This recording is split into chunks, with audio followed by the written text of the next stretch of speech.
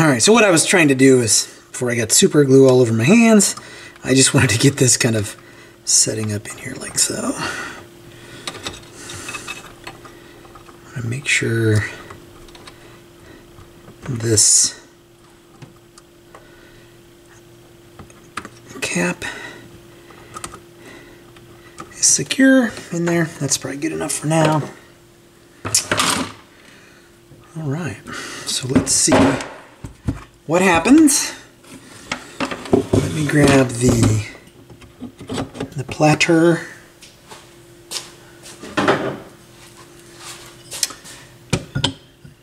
I do have a new belt for this.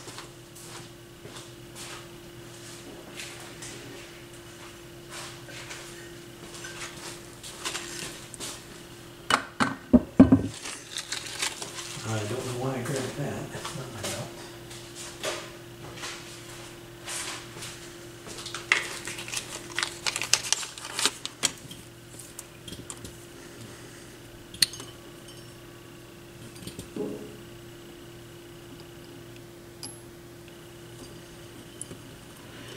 And belt is from Vinyl Nirvana.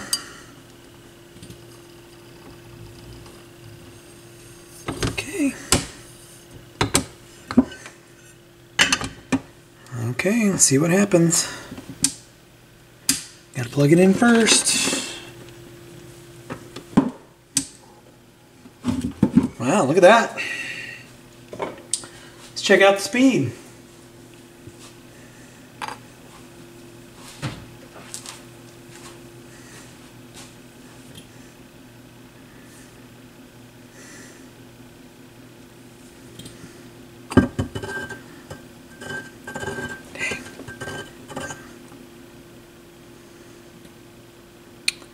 Oh, speed looks really good. Look at that. Awesome, awesome, awesome.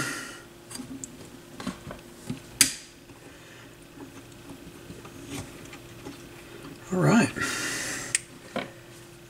Now, one thing I did notice about the vinyl veneer on this plinth that is coming up, so you can see where it's delaminating from the wood.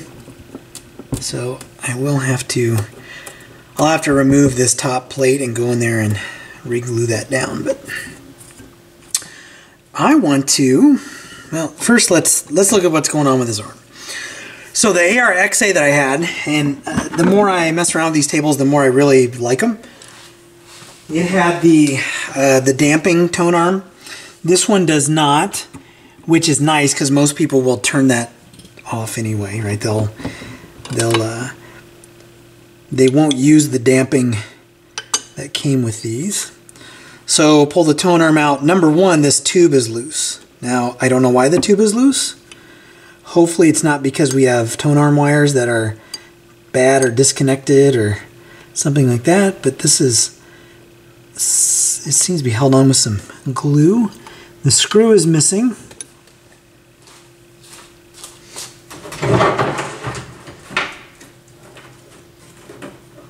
Luckily I have the other arm over here.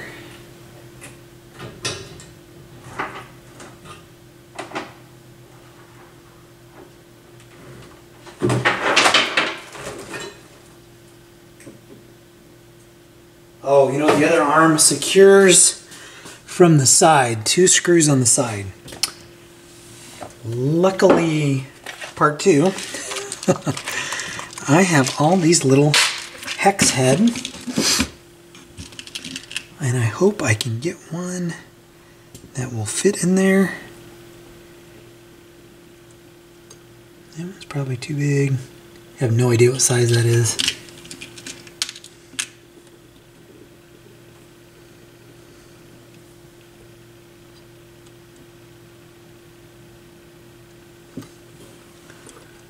That one may work.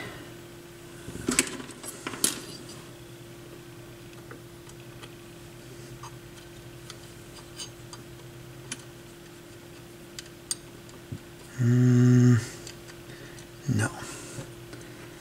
Maybe from the sides. Doesn't want to go from the side with that one. Let's try a different size. Worst case, I can just pull them off of the other, the other one that I have.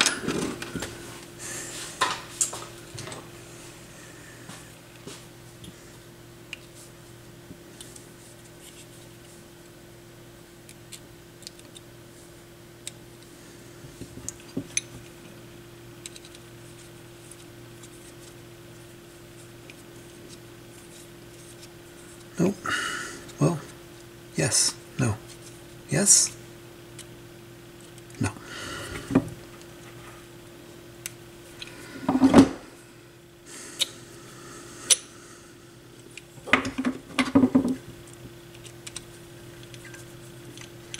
Oh, yeah. Nope. Sorry. I know you're probably like, just make up your mind. Is it yes or is it no?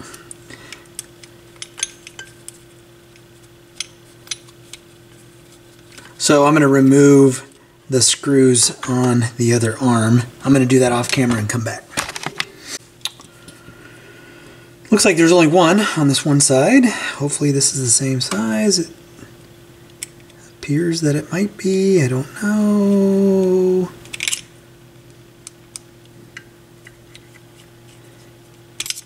Well, nope.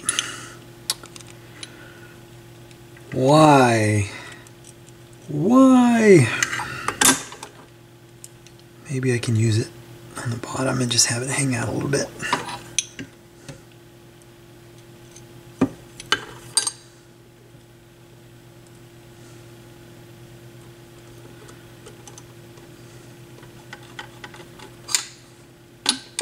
Well, that is not at all ideal.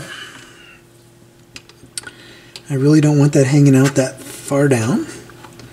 The other arm does not have this. At least as far as I can tell it doesn't.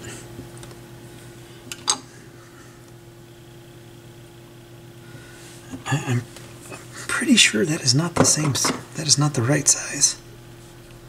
Let's try again.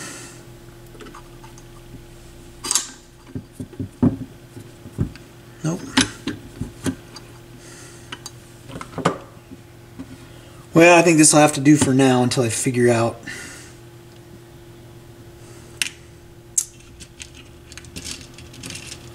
a better option. And that's too small. Huh. Thought for sure I'd have something to fit that. I guess I don't. Alright, so I'll put this one in here for now. Again, it's just going to hang down. It's just to secure that arm until I can find a another screw.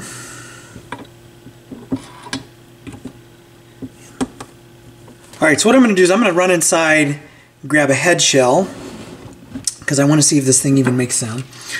Uh, and I'm going to grab the the uh, tone arm weight from the other tone arm and put that on there, and we're going to give it a listen. Well, so that screw was too long to sit there because that's where the tone arm lever sits. So, um, so that will not work in that position. So I need to put this back in the other tone arm. Um, but there was a screw on the side that was actually just all the way in there. I couldn't see it. So now this is once again stable. So let's see what we have. I got it on phono. Alright, though, so there is some hum. I'll have to. it's probably that that uh, ground wire underneath. But let's just see what happens when I.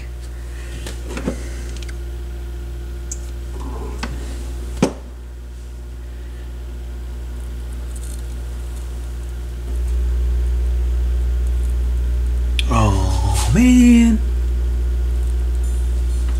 No sound at all.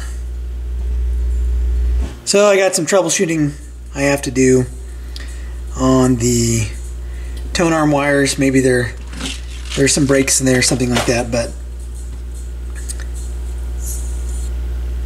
at least we kind of know what we are up against at this point. So I'm going to end this part right here because I'm out of battery juice anyway, and we'll pick it up with me troubleshooting. You know what? I'm embarrassed. Hold on a second. You, you have to connect the turntable RCA cables. I guess, to get sound, which I didn't do. So, so we have sound. Oh, sounds really good too. Wow. Cool, cool, cool. That works. All right. So anyway, I do, my battery is going to die any second. So um, I am going to wrap, wrap this segment up. Uh, we'll come back after I've done some work on the plinth and uh, whatever else I'm going to be doing to this. I have a head shell coming for it from Pat's Audio on eBay. Uh, so this is, uh, I'm borrowing this from the ARXA. So uh, if you like what you see, hit like, hit subscribe. Catch you in the next video. All right, so here's the ARXB. Um, so a couple of things happened. Number one, um, I had a mishap where I deleted a whole bunch of my video files. So I had to come back and reshoot this as I'm editing what I could salvage. I realized at the very end was cut off. So as you can tell, I purchased an aftermarket dust cover from uh, J&B Audio for the ARXB. Fantastic turntable. I have since working on the ARXA where in the video I think I said I didn't get what you know all the fuss was about with AR turntables. I have since become a convert to AR turntables. Uh, this XB is, uh, this was the basket case ARXB. I do have another ARXA and ARXB in the queue that I will work on at some point if I ever find the time. Uh, I got them really great prices.